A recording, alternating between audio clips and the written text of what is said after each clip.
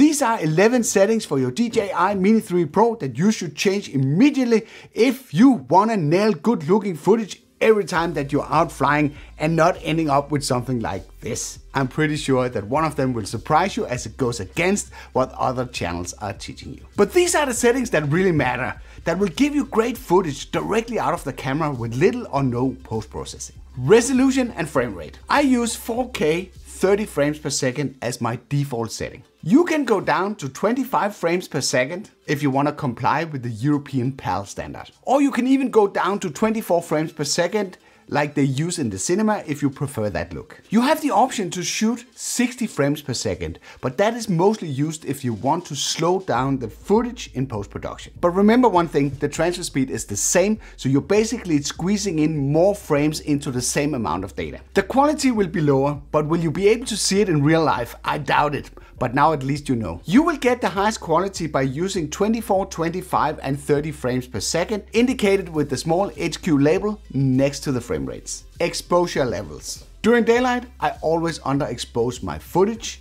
to preserve the highlights. A drone is assessing the overall exposure level of the image and this can make bright areas look less flattering and washed out. Depending on the situation, I normally underexpose between 0.3 and 1, and I don't underexpose under low light conditions. In case you're wondering what this stop unit is, this basically means that one stop equals either halving or doubling the amount of light that goes through the lens. Color temperature. If you want to be 100% sure that the color temperature of your footage is not changing when you are flying, you have to go in the camera menu and switch the white balance into manual mode. You have to select a color temperature that matches the environment that you're flying and the drone will keep that exact color temperature throughout your flight. I do this sometimes, but most of the time I actually leave it in auto as the drone is pretty good at assessing uh, the color temperature and does not change it that much during flight. So this is really not a big issue. Color profile. I record everything in the standard color profile as it looks pretty nice right out of the box. Some would argue that the footage is oversharpened and the saturation have been boosted. In some cases this would actually be an advantage and make your footage stand out on social media. So this is why I like it like it is because this will allow me to use the footage in my videos on YouTube with minimal work. Which I will assume is also your purpose to use the footage on social media. De-sharpening. If you don't like that look and wants to turn down the sharpness directly in camera, there is a menu under the camera settings that's called style. Below that there are two sliders.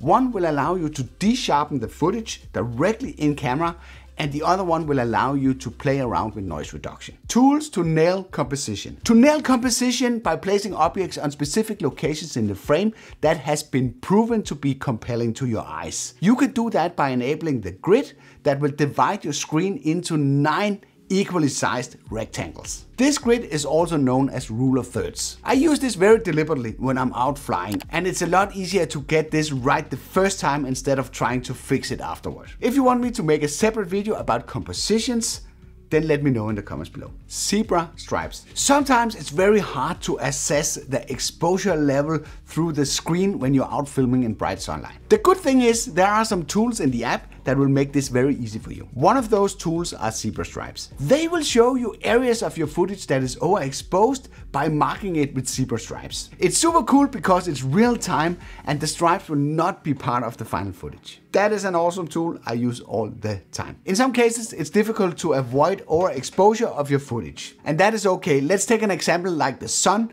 That one will always be overexposed. The histogram. That's a graphical representation of the pixels in the image. The chart will very easily show you if the footage is over or underexposed if the chart has been shifted left or right. Under normal flying conditions, you want a chart that's equally distributed between left and right. Some of the other settings worth mentioning. In general, I use MP4 as the video format and I use H.264 for encoding. The reason for that is that the H.264 is easier on the computer when you have to play back the footage. I leave the peaking levels off as they are only used during manual focus, which I don't recommend. As there are plenty of other stuff going on while you're flying and the drone is doing a perfectly fine job keeping focus. Storage space. This is not a setting, but it's more practical advice because I've run into this many times. Make sure you have sufficient space on your SD card before you take off. You can see how much recording time you have left in the lower right corner of your screen. It sounds kind of obvious, but you would be surprised how many times if you fly frequently that you experience the dreaded out of this space. Should you use auto or pro mode? Now for something that would surprise you, I shoot most of my footage in auto. The reason for that is that it's actually not much you can control from the Pro menu as the drone is a fixed aperture drone. When you are flying during daylight, your ISO will be locked to the lowest possible level of 100. And you can't adjust the amount of light that goes through the lens because the aperture is fixed for 1.7. So the only parameter you can change in the exposure triangle is the shutter speed. So keeping this one on auto, the drone will automatically adjust the shutter to the right exposure level according to your settings. But then the crowd screams,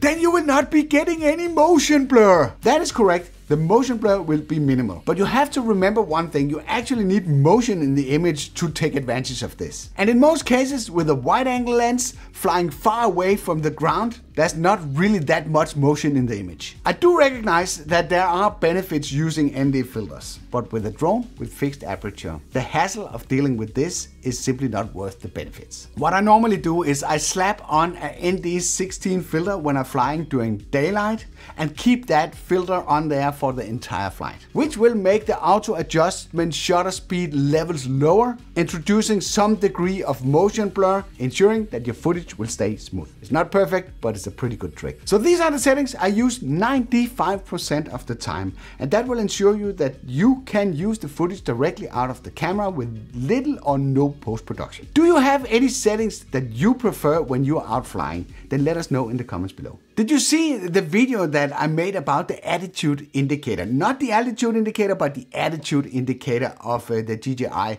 Mini 3 Pro or any drone that is actually using the DJI Fly app. This is a lot more than just a compass. So in case that you missed that video, you can access this through this card. I hope you liked this video. If you did, then feel free to give a like. If you didn't like it, feel free to press the dislike button twice. Thank you for watching and I'll be seeing you around.